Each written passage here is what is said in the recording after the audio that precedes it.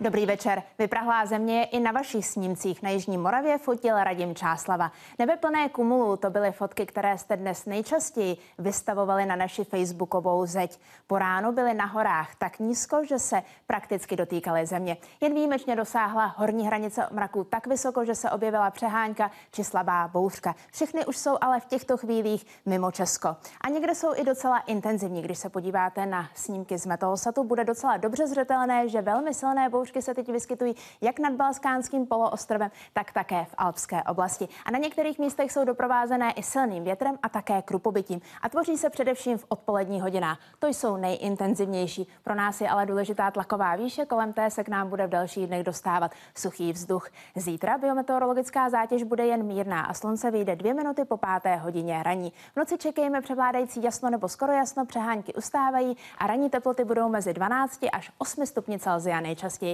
I zítra přes den se obejdeme bez srážek. Skoro jasno, polojasno, s odpoledními teplotami mezi 18 až 22 stupni. Vítr bude foukat severní, severovýchodní 3 až 7 metrů za sekundu, to bude jeho průměrná rychlost. I v sobotu bez srážek 18 až 22 stupňů Celsia, převládající skoro jasno, polojasno. Odpolední hodinách může být přechodně i oblačno. No a první přehánky, případně ojedinělou bouřku můžeme očekávat v neděli a hlavně na počátku příštího týdne. Odpolední teploty budou v neděli mezi 19 až 23 stupni Celsia ale pak se začne pozvolna oteplovat a bude přibývat právě přeháněk, případně bouře, které se odpoledne budou vyskytovat. Místy nejvyšší odpolední teploty na počátku týdne 20 až 24 stupňů Celsia a nejteplejší potom středa a čtvrtek, kdy se maxima dostanou na 22 až 26 stupňů. Tolik počasí, teď už události.